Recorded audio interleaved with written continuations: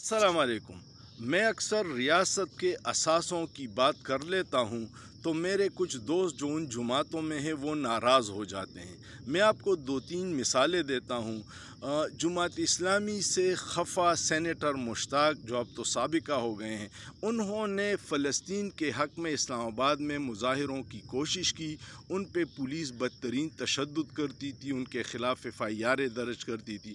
ان کے خلاف، ان کی بیوی کے خلاف، ان کے بیٹے کے خلاف ایف آئی آریں درج ہے جبکہ دوسری طرف جب لبیک والے فلسطین کے حق میں مظاہرے کے لیے آئے تو ان کو پولیس نے ویلکم کیا۔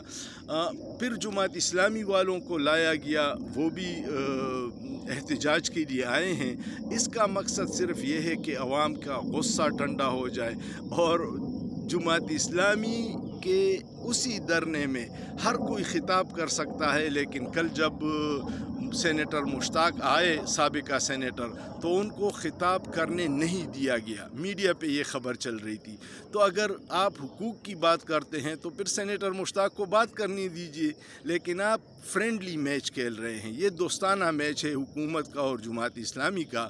اور کل ایک عجیب کام یہ ہو گیا کہ کل فائنل مذاکرات ہو رہے تھے جماعت اسلامی اور حکومت کے دوران کہ بجلی کی قیمتوں کا کوئی حل نکالے۔ اور اسی دوران حکومت نے دو دو روپے ترون پیسے بجلی کی قیمت بڑھانے کا نوٹیفیکیشن جاری کر کے جماعت اسلامی کو یہ بھی ایک تحفہ دے دیا۔